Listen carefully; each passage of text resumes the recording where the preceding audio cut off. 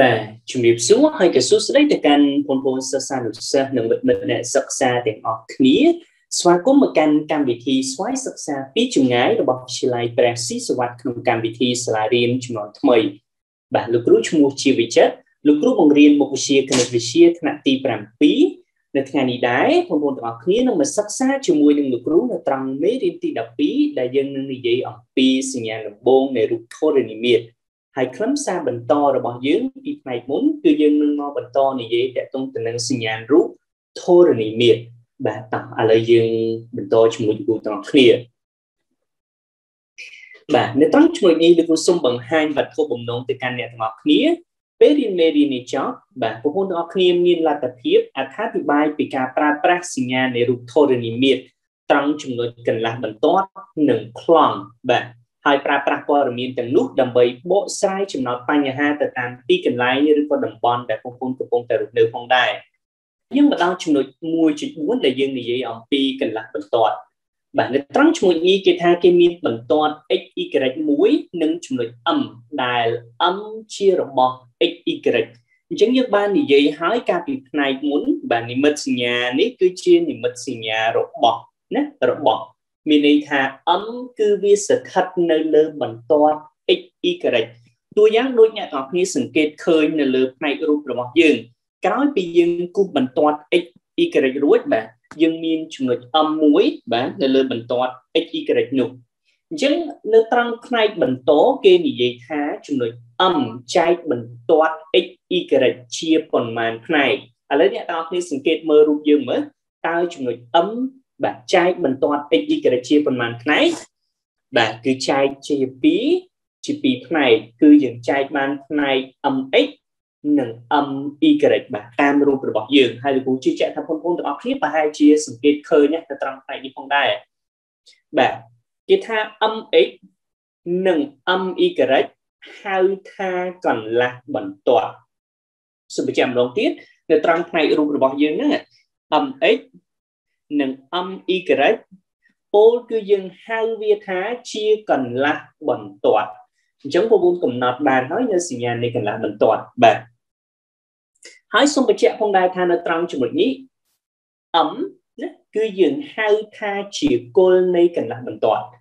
បាទអញ្ចឹង m ចំណុចនេះនឹងឯងគឺយើងហៅថាជាគល់នៃកន្លះបន្ទាត់ហើយតកតងទៅនឹងរបៀបនៃការឲ្យ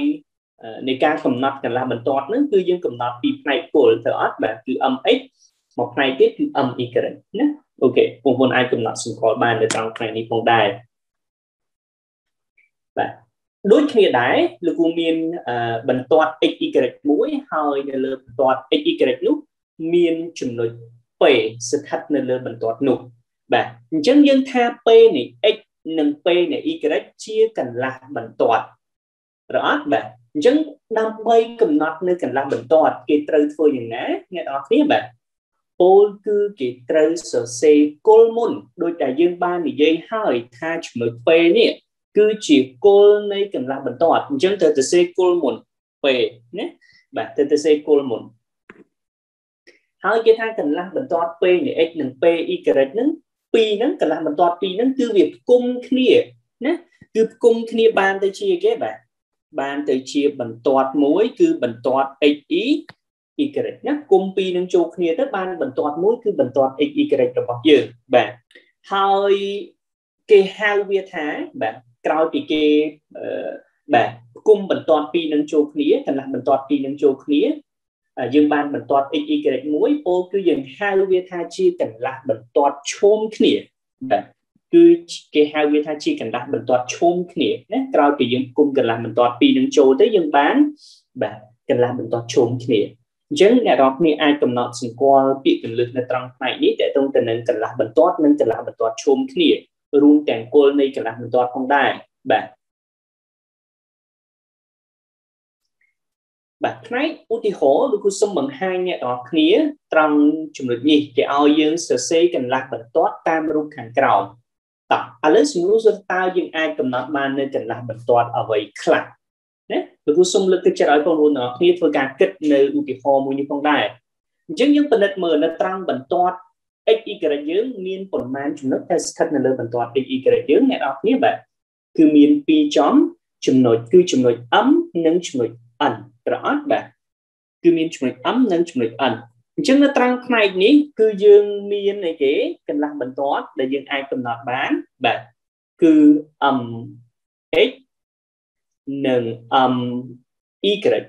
បាទនៅត្រង់ផ្នែកនេះយើងយក m គឺជាគល់នៃកន្លះបន្ទាត់អញ្ចឹងយើងបានកន្លះបន្ទាត់ mx និង my បាទកន្លះបន្ទាត់គុំពីរនឹងគុំចូលគ្នាទៅបានអីគេបាទបានទៅនឹងកន្លះបន្ទាត់ពីរឈោមឈោមគ្នាបន្ទាប់មក លោកគ្រូទាញយកអីគេកន្លះគុលមួយទៀតលោកគ្រូយក n ជាគុលនៃកន្លះបន្ទាត់អញ្ចឹងយើងបាន nx និង ne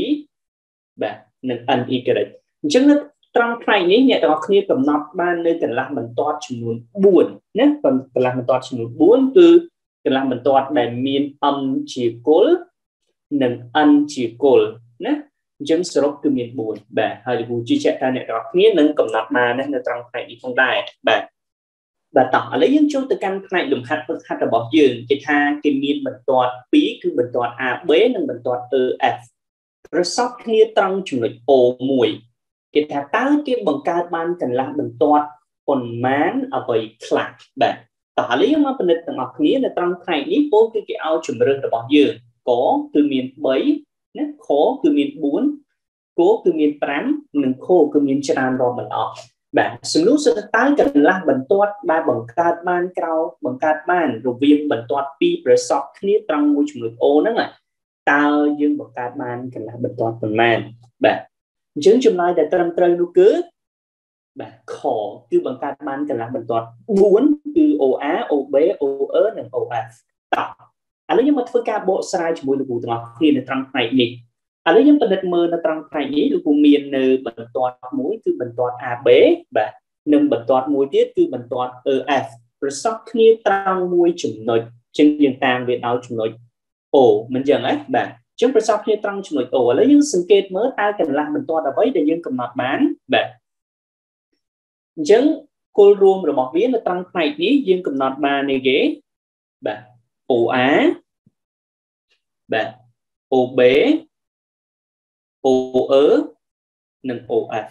បាទអញ្ចឹងយើងកំណត់បានកន្លះបន្ទាត់ចំនួន4ណាបាទកន្លះបន្ទាត់ចំនួន4ដោយដែលយើងនិយាយថា OA OB OE និង OF នឹងជាចំនួនត្រឹមត្រូវបាទហើយនៅត្រង់ផ្នែកនេះគឺយើងមានតែប៉ុណ្្នឹងឯងបាទ បាទតោះឥឡូវយើងពិនិត្យទៅកាន់ផ្នែកថ្មីរបស់យើងតកតងទៅនឹងចំណុច1.5ដែលយើងនិយាយអំពី plong បាទអញ្ចឹងនៅត្រង់ផ្នែកនេះដូចដែលអ្នកទាំងអស់គ្នាសង្កេតឃើញណាដូចដែលអ្នកទាំងអស់គ្នាសង្កេតឃើញទៅលើផ្នែករូបរបស់យើងគឺគូបង្ហាញអ្នកទាំងអស់គ្នាតកតងទៅនឹងផ្ទៃជញ្ជាំងបាទផ្ទៃជញ្ជាំងដូចជាក្រដាស់បាទផ្ទៃក្រដាស់ក្រដាស់សិភៅយើងហ្នឹងឬក៏ផ្ទៃតុបាទឬក៏ផ្ទៃតុរបស់យើងអញ្ចឹងនៅត្រង់ចំណុចនេះ វាតកតងអ្វីជាមួយនឹងផ្នែកប្លង់របស់យើងបាទអញ្ចឹងគេថាផ្ទៃជញ្ជាំងផ្ទៃក្រដាសនិងផ្ទៃតុហ្នឹងគឺយើងហៅវាថាជាប្លង់បាទគឺយើងហៅវាថាជាប្លង់អញ្ចឹងនៅត្រង់ផ្នែកនេះបាទផ្ទៃជញ្ជាំងផ្ទៃក្រដាសផ្ទៃតុហ្នឹងយើងជាប្លង់ហើយនេះគឺជាសញ្ញាណទូទៅមួយនៃប្លង់ដែលអ្នកនរគ្នាអាចកំណត់សម្គាល់បានបាទ នៅត្រង់ផ្នែកនេះលោកគ្រូសូមបង្ហាញរូបមួយទៅកាន់អ្នកនរគ្នាពោលគឺ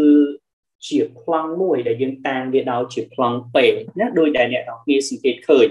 គឺយើងមានប្លង់មួយដែលអាចរំកិលបានហើយប្លង់នោះលោកគ្រូសូមតាមដោយប្លង់ពេបាទនៅត្រង់ចំណុចនេះលោកគ្រូពុះចែកប្លង់នោះជាពីរផ្នែកស្មើគ្នាបាទដែលលោកគ្រូអាចតាំងប្លង់ផ្នែកទី1និងប្លង់ផ្នែកទី2នេះអាចជាប្លង់ផ្នែកទី1ហើយនេះអាចជាប្លង់ផ្នែកទី2 នៃការកំណត់តាំងរបស់យើងតែអត់បញ្ហានៅតាមចំណុចនេះយើងអាចកំណត់សម្គាល់បានណាថាប្លង់ផ្នែកទី1នៅមួយខាងប្លង់ផ្នែកទី2នៅមួយខាងទៀតបាទហើយយើងសង្កេតឃើញថានៅត្រង់ផ្នែកនេះបាទលោកគ្រូមានបន្ទាត់ដែលលោកគ្រូពុះណាប្លង់នឹងជា2ឬគូសុំតាមដោយបន្ទាត់ D ហើយនៅលើបន្ទាត់ D គឺមានមួយចំណុចគឺចំណុច N ណាចំណុច N អញ្ចឹងគេថាប្រសិនបើបន្ទាត់ D ស្ថិតនៅក្នុងប្លង់ P បាទ អញ្ចឹងប្រសិនបើបន្ទាត់ D យើងហ្នឹងវាស្ថិតនៅក្នុងប្លង់ P នោះគ្រប់ចំណុចនៃបន្ទាត់ D ក៏ស្ថិតនៅក្នុងប្លង់ P ដែរណានោះគ្រប់ចំណុចនៃបន្ទាត់ D ក៏ស្ថិតនៅក្នុងប្លង់ P ដែរតោះឥឡូវយើងមកពិនិត្យរូបរបស់យើងយើងនិយាយថា n គឺជាចំណុចនៅលើបន្ទាត់ D សំណួរសួរថាតើ n ស្ថិតនៅក្នុងប្លង់ពេលឬទេបាទពិតជាស្ថិតហើយណាគឺវាស្ថិតនៅក្នុងប្លង់ប្លង់ពេលពោលគឺគេកំណត់សរសេរបើសិនបើ n ជារបស់បន្ទាត់ D នាំឲ្យគេបាន n ស្ថិតនៅក្នុងប្លង់ពេលបាទហើយនេះតកតងទៅនឹងនិមិត្តសញ្ញាអ្នកនរគ្នាអាចធ្វើការកំណត់សម្គាល់ផងដែរនិមិត្តសញ្ញានៅក្នុងគណិតវិទ្យាគឺយើងថានៅក្នុងបាទនៅក្នុងដោយដែលអ្នកនរគ្នារៀនអាននៅត្រង់ផ្នែកនេះគេថា n បាទជារបស់ D មានន័យថា n ស្ថិតនៅលើបន្ទាត់ D បាទនាំឲ្យយើងទាញបាន n ស្ថិតនៅក្នុងប្លង់ពេណាបាទមានន័យថាបែបហ្នឹងនៅត្រង់ផ្នែកនេះជាងអ្នកនរគ្នាអាចកំណត់សម្គាល់ហើយតកតងទៅនឹងផ្នែកប្លង់របស់យើងបាទតោះឥឡូវយើងមកពិនិត្យទៅលើផ្នែកលំហាត់វឹកហាត់យើងវិញម្ដងគេសួរយើងថាបាទតើ3ចំណុចរត់មិនត្រង់ជួរបង្កើតបានប្លង់ចំនួនប៉ុន្មានបាទ ម្ដងទៀតគេថាតើ3ចំណុចរត់មិនត្រង់ជួរបង្កើតបានប្លង់ចំនួនប៉ុន្មានបាទតោះឥឡូវយើងមកពិនិត្យកបង្កើតបានប្លង់ចំនួន1ខចំនួន2គចំនួន3ខច្រើនរាប់ទាំងអស់បាទតើមួយណាគឺជាជំរើសត្រឹមត្រូវអ្នកនរគ្នាបាទអញ្ចឹងជំរើសដែលត្រឹមត្រូវគឺជំរើសបាទកគឺបង្កើតបានប្លង់តែមួយទេក្នុងករណីដែល 3ចំណុចរត់មិនត្រង់ជួរដោយដែលអ្នកគ្នាសង្កេតឃើញនៅត្រង់ផ្នែករូបរបស់យើងអញ្ចឹងលោកគ្រូសន្មតថាលោកគ្រូមាន3ចំណុចគឺចំណុច A ចំណុច B និងចំណុច C ដែលស្ថិតនៅក្នុងប្លង់ ABC មួយអញ្ចឹង3ចំណុចនោះគឺរត់អត់ត្រង់ជួរគ្នាទេអត់ត្រង់ជួរជាជួរទេអញ្ចឹងវានៅកាច់ពងគ្នាដោយដែលអ្នកទាំងអស់គ្នាសង្កេតឃើញអញ្ចឹងនៅផ្នែកនេះពោលគឺយើងបង្កើតបាននៅប្លង់មួយបាទ គឺយើងបង្កើតបាននៅប្លង់មួយតួយ៉ាងដូចដែលអ្នកទាំងគ្នាសង្កេតឃើញនៅផ្នែកនេះផងដែរបាទអញ្ចឹងយើងដឹងហើយថាបាទ3ចំណុចដែលរត់មិនត្រង់ជួរនោះគឺយើងអាចបង្កើតបានប្លង់ចំនួន1ហើយលោកគ្រូជឿជាក់ថាបងប្អូនទាំងអស់គ្នាអាចនឹងតាន់ហើយនៅត្រង់ផ្នែកនេះផងដែរបាទ តោះឥឡូវយើងមកពិនិត្យទៅលើផ្នែកលំហាត់វឹកហាត់របស់យើងពោលគឺនៅត្រង់ចំណុចនេះគេឲ្យយើងរកឧទាហរណ៍នៅជុំវិញខ្លួនយើងដែលឲ្យរូបភាពជាប្លង់បាទនៅផ្នែកដំបូងតកតងទៅនឹងសញ្ញានៃប្លង់ហ្នឹងអ្នកនរគ្នាបានដឹងហើយតកតងទៅនឹងផ្ទៃជញ្ជាំងតកតងទៅនឹងអីគេបាទផ្ទៃក្រដាស់និងផ្ទៃតុយើងថាវាជាសញ្ញានៃនៃប្លង់ឥឡូវលោកគ្រូឲ្យអ្នកនរគ្នាសាកល្បងគិតមើលតកតងទៅនឹងរូបភាពណាដែលនៅជុំវិញអ្នកនរគ្នាដែលជាប្លង់បាទ តើឥឡូវសាកល្បងគិតហើយចាំទៀងទាត់ជាមួយនឹងលោកគ្រូបងអញ្ចឹងនៅត្រង់ផ្នែកនេះដូចជាផ្ទៃអីគេអ្នកនរគ្នាសង្កេតមើលផ្ទៃកញ្ចក់ហ៎បាទផ្ទៃកញ្ចក់ឆ្លុះហ៎បាទអាហ្នឹងក៏ជាប្លង់ដែរបាទហើយតកតុងទៅនឹងក្តារខៀនក្តារខៀនដែលយើងសរសេរហ្នឹងបាទផ្ទៃរបស់វាគឺជាជាប្លង់ឬក៏ screen បាទ computer បាទ screen ទូរស័ព្ទបាទ screen ទូរទស្សន៍ ឬក៏ផ្ទៃទូទស្សន៍នឹងឯងផ្ទៃអេក្រង់របស់វានឹងគឺយើងហៅថាជាប្លង់បាទអញ្ចឹងនៅផ្នែកនេះជាឧទាហរណ៍ចំនួន3ដែលលោកគ្រូចូលរួមក្នុងការលើកឡើងតកតងទៅនឹងឧទាហរណ៍នៃប្លង់ណាដែលយើងអាចសង្កេតមើលនៅជុំជុំវិញខ្លួនយើងណាហើយបងប្អូនក៏អាចសង្កេតមើលផងដែរណាមានវត្ថុជាច្រើនទៀតតែជាប្លង់ណាបាទបាទតោះឥឡូវយើងមកពិនិត្យទៅលើលំហាត់វឹកហាត់បន្តទាំងអស់គ្នា នៅត្រង់ផ្នែកនេះគេថាបើគេរំកិលក្រដាស់មួយលើតុតើគេសង្កេតឃើញផ្ទៃទាំងពីរនោះយ៉ាងដូចម្ដេចបាទចូលធ្វើការសន្និដ្ឋានបាទម្ដងទៀតបើគេរំកិលក្រដាស់មួយនៅលើតុតើគេសង្កេតឃើញផ្ទៃទាំងពីរនោះយ៉ាងដូចម្ដេចហើយគេឲ្យយើងធ្វើការសន្និដ្ឋានបាទឥឡូវតួយ៉ាងដូចដែលអ្នកនរគ្នាសង្កេតមើលរូបរបស់យើងអញ្ចឹងយើងមានតុមួយហើយយើងមានក្រដាស់មួយនៅលើតុនោះបាទយើងមានក្រដាស់មួយនៅលើតុនោះ អញ្ចឹងគេថា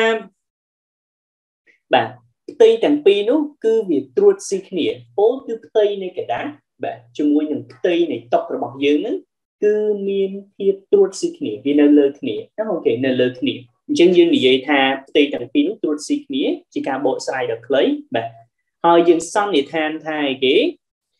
ប្លង់នៃផ្ទៃกระดาษមានន័យថាប្លង់ស្ថិតនៅផ្នែកខាងលើនៃផ្ទៃតុហ្នឹងគឺអាចរំកិលបាននៅលើប្លង់នៃផ្ទៃតុ ណាបាទពោលគឺយើងអាចរំកិលផ្ទៃกระดาษហ្នឹងនៅលើផ្ទៃតុបាន